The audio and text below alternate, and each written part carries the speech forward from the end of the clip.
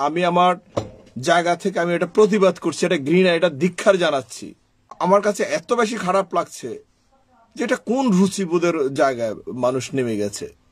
আপনি যদি টাকা এরকমের দরকার লাগে আপনি থ্রি এক্স বানান ভাই ইন্টারন্যাশনালি যদি শুধু টাকাই চান। কিছু মানুষ লজ্জাবোধের কারণে তার মাথা ডাকতে হয়। কেন? এটার মধ্যে অশ্লীল জিনিস আছে। প্রাপ্তবয়স্ক ছাড়া এখানে এটা কেউ দেখবা না। বা ছেলে মেয়েরা মা ছেলে সারা একসাথে এখানে যাওয়া উচিত না। আসসালাম আলাইকুম। অনেক বছর পর আজকে বাংলা সিনেমা দেখতে গিয়েছিলাম মধুমিতায়। হুব্বা সিনেমাটা। আমি কখনো সিনেমা নিয়ে কখনো কোনো কথা বলিনি আমার জীবনে। আর নাটক, যেহেতু আমি বাংলাদেশের মানুষ, সেই জায়গায় আজকে মোশাররফ করিম ভাইয়ের প্রতি একটা শ্রদ্ধাবোধ সবসময় থাকে, এখনও আছে, মানুষ হয়তো ভুল করে। যখন কোনো মানুষ একটা লাইম লাইটে আসে, যখন কিছু মানুষ আপনাকে ফলো করে, অভিনেতা অভিনেত্রীগুলোর এবং যারা নির্মাতা আছেন, একসময় হয়তো, একসময় কি আপনি তো চলে যাবেনই, কিন্তু আপনি যখন একটা কাজ করবেন, এটা লেখাই লিখে যাবেন। আপনার সন্তান যেন কোনো দিন ওই লেখাটার কারণে, ওই নির্মাণটার কারণে কোথাও যেন অপমানিত বোধ না হয়। মিডিয়ায় একটা শব্দ আমরা প্রায় শুনতাম, রুচির দুর্ভিক্ষ।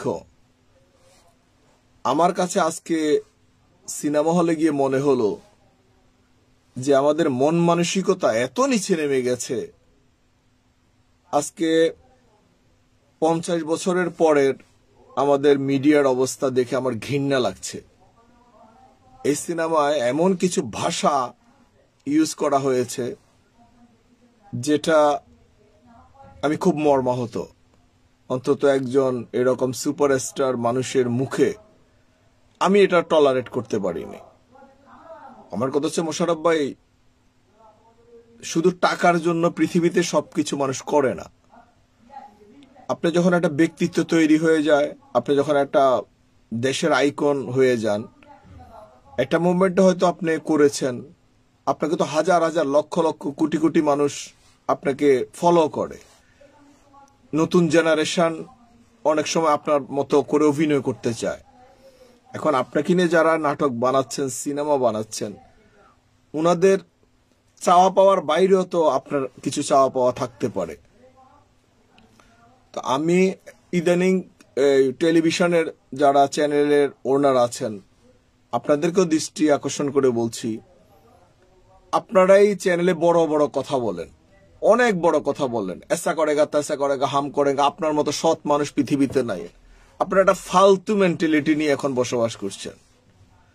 আমার কাছে মনে হয় আপনাদের মতো ফালতু মানুষ এই বাংলাদেশটাকে, এই বাংলা ভাষাটাকে অধপতনের চরম ধারে নিয়ে পৌঁছাচ্ছেন।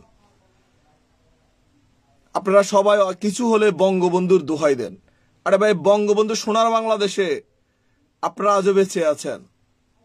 এই বাংলা ভাষাভাষীর জন্য শহীদ হয়েছে। এই ভাষাটাকে আপনাকে বাস মেরে দিচ্ছেন।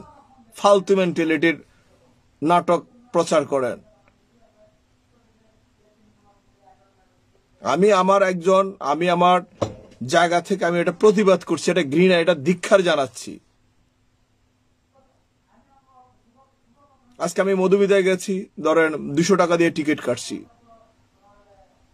আমার কাছে এত বেশি খারাপ লাগছে যে এটা কোন রুচিবোধের জায়গায় মানুষ নেমে গেছে।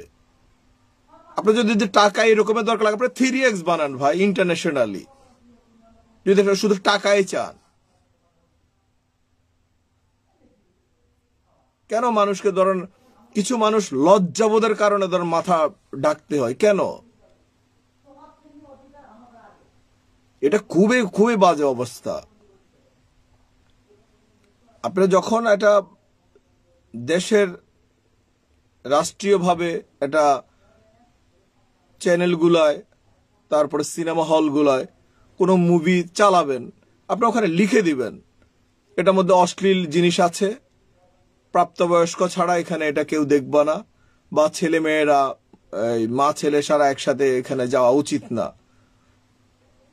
জাতির সাথে, বিবেকের সাথে, আর আমি আজকে যে মন্ত্রী আছেন, আমাদের অনারেবল পার্সন আপনার কাছে আমার রিকোয়েস্ট যুগে যুগে মানুষ পরিবর্তন হয়।